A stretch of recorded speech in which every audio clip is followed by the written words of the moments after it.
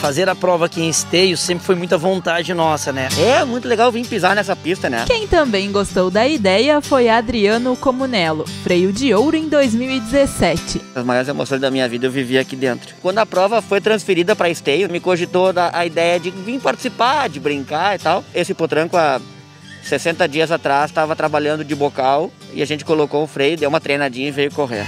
Para quem não sabe, Adriano começou a carreira profissional nas rédeas. E tá aqui podendo participar, revendo todo o pessoal que, que eu acompanhava aí há 15 anos atrás. É, foi realmente muito legal estar tá aqui hoje.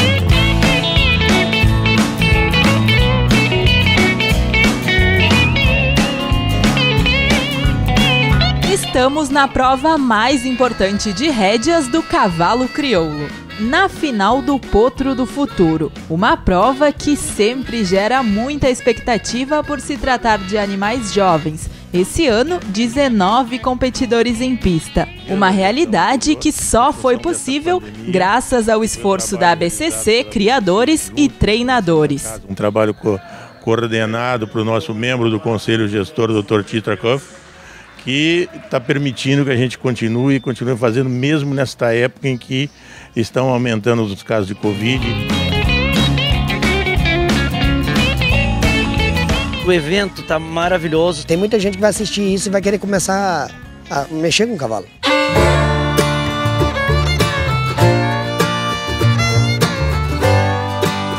Roberto Jou e Mapuche Mosito marcam 218 pontos a maior nota até o momento.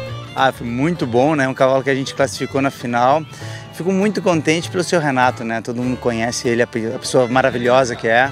E toda a equipe, né? Os treinadores lá da Cabanha Mapuche, né? A doutora Haroldo. Os seis conjuntos restantes se apresentam e Joe e Mapuche Mosito continuam com a maior nota. Até que. O último concorrente da noite, Gilson Vieira de Filho, bateu marca do Santo.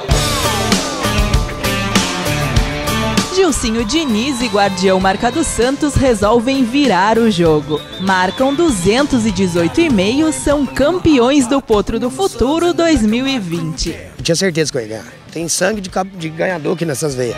Guardião é filho do loiro da cabanha Marca dos Santos, finalista nos Jogos Equestres Mundiais em Tryon, na Carolina do Norte, nos Estados Unidos.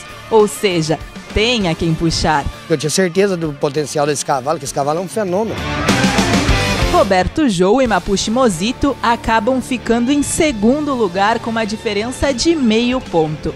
Eu fico contente de conseguir. Sempre a gente quer ganhar, né? Mas eu fiquei contente pela performance deles. Sempre esteve comigo na prova, parou muito bem. Na terceira colocação, Johnny Carlos e Violeiro do Topo da Serra com 217,5.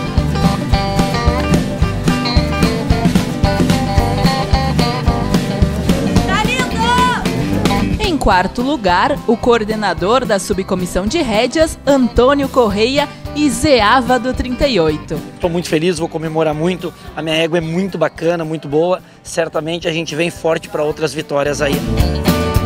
E na quinta posição, Fabrício Sures e Alma Charrua do 38 com 214 pontos.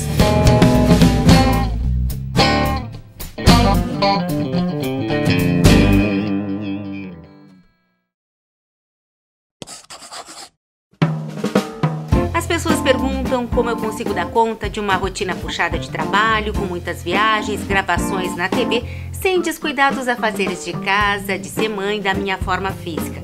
Pois hoje eu vou contar para vocês um dos meus segredos. Melhor que isso, eu vou mostrar, porque na verdade tudo começa aqui, com uma boa noite de sono. Os colchões Otori são confeccionados com matéria-prima de alto padrão. São certificados pelo Imetro tem garantia de qualidade e conforto. O nome Otori tem origem italiana e quer dizer 8 horas, tempo de sono ideal para uma pessoa adulta. Atualmente a Otori ocupa o mercado na região sul do Brasil e no exterior está presente em parcerias no Mercosul. Entre no site, nas redes sociais e confira todos os modelos, as linhas de colchões, cabeceiras, travesseiros e bases. Otori, porque você já sabe, seu dia começa bem se você dorme bem.